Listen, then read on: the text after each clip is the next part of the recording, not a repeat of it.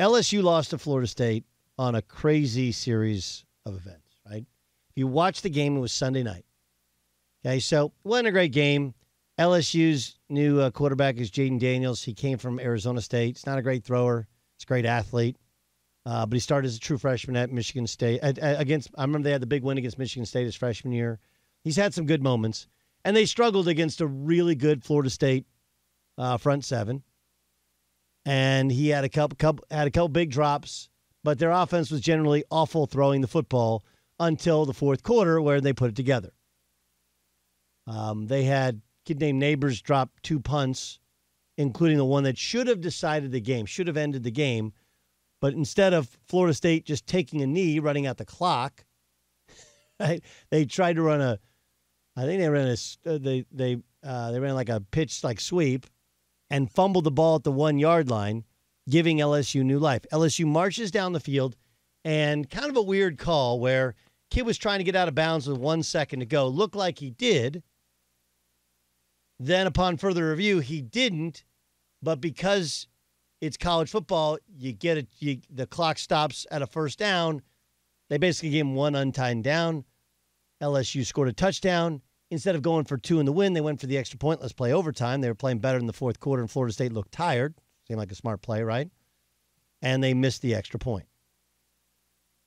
The, the social media stuff is so crazy, so ridiculous, so frankly insulting to uh, on a lot of levels. Here's one.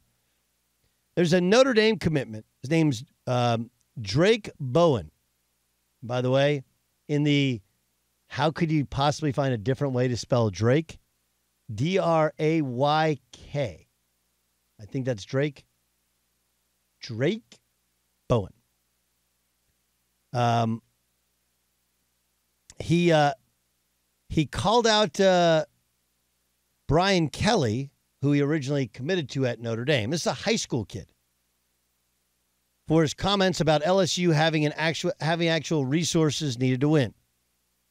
Drayk Bowen can't wait to get to ND where they have the resources to win. Hashtag Freeman era. Now, look, I'm a bad guy for taking the bait over commenting on a high school kid, but the high school kid chose to dope, dip his t- t- toe in the water. Like, hey, dude, you ain't even graduated high school yet. You don't know anything about anything commenting on what a college coach comments on when you don't understand truly the landscape of things is kind of embarrassing. Right? That but the problem is that a kid feels so empowered that he can comment on it because well they left the school that you committed to. Do you understand? Like you're like a scorned lover, but you're not actually in in a relationship with the person that you're going to be in a relationship with. Like, dude, when you're 18, you, you really don't, you know, very little about how the whole, you know. Look, what Brian Kelly couldn't say was, look, we're at Notre Dame. It's a great academic institution. It's hard to get guys in school, hard to keep them in school.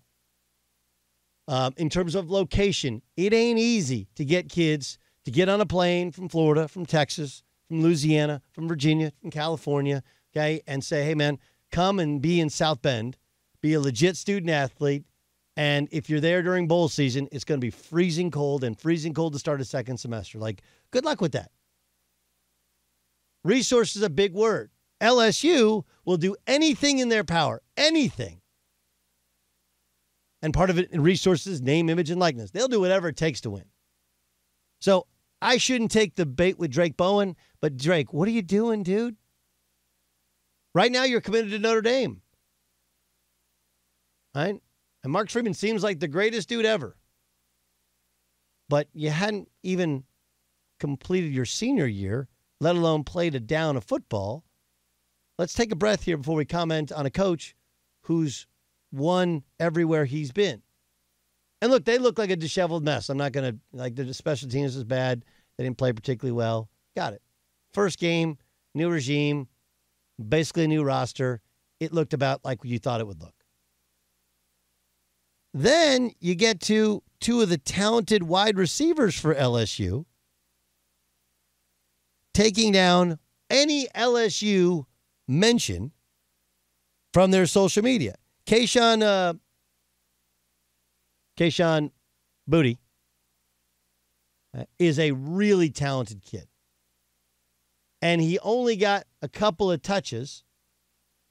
One was a drop touchdown pass that, in all honesty, I thought the cornerback made a great play. Another one, he would have scored a touchdown, wasn't looking, looked like Jayden Daniels threw it a hair earlier rather than a hair later, in which he would have had a touchdown either way.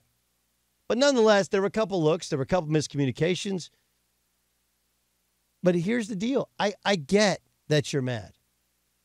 I get that you didn't get as many touches as you want.